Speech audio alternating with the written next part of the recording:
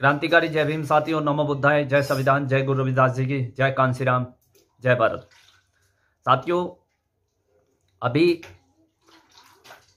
एक दो दिन पहले अपने मेघवाल समाज के राजस्थान से जितेंद्र सिंह मेघवाल की केवल मूछे बड़ी रखने पर बड़ी बेरहमी से हत्या कर दी गई और उसके साथ साथ कल सिसोली गाँव, ज़िला मुजफ्फरनगर में अपने समाज के एक भीम सैनिक को को भी मार मार डाला।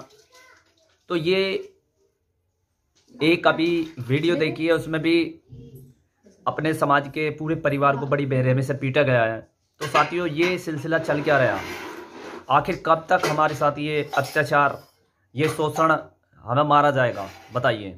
और सबसे बड़ी बात है कि मैं सभी संगठनों से हाथ जोड़ कर निवेदन करता हूँ कि मेरे साथियों, अब भी एक हो जाओ, समय है। अभी भी समय है, एक होने का, वरना अलग अलग पिटोगे अलग अलग मरोगे।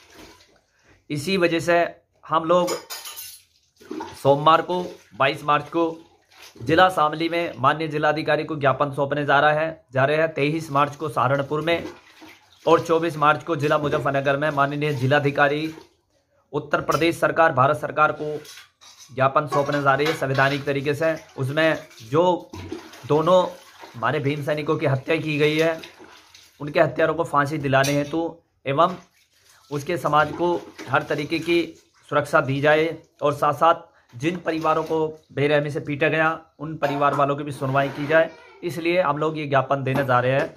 और साथियों, अगर इस ज्ञापन पर सरकार कोई ठोस कदम नहीं उठाती और उन परिवारों को या उन भाइयों को इंसाफ नहीं मिलता तो नेशनल भीम आर्मी सभी बहुजन समाज के संगठनों को लेकर पूरे देश में एक जन आंदोलन होगा। जिस तरीके से 2 अप्रैल भारत बंद 2018 में भारत बंद किया था।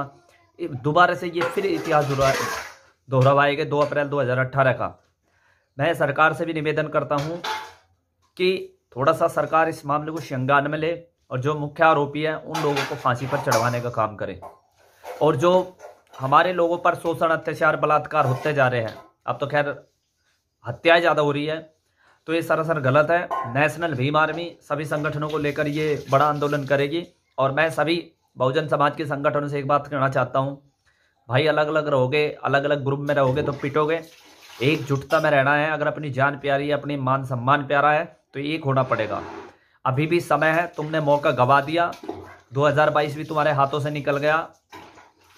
ये मौका है अब फ़िलहाल एकजुट होने का। आपस के गिले सिके खत्म करने पड़ेंगे।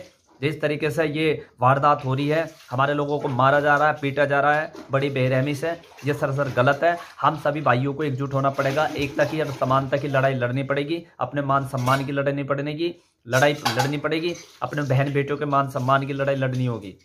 तो मैं सभी से निवेदन करता हूँ कि सभी संगठन एकजुट हो जाओ, सारे मिशनरी भाई एक हो जाओ, आपस के गिरे से ख़त्म करो, और मैं उन समाज के जो बैठे हुए ठेकेदार दलाल उन लोगों से भी निवेदन करता हूँ कि भैया, तुम लोगों की वजह से हमारे समाज के लोग मारे जा रहे हैं। तुम लोगों के कारनामों की वजह से।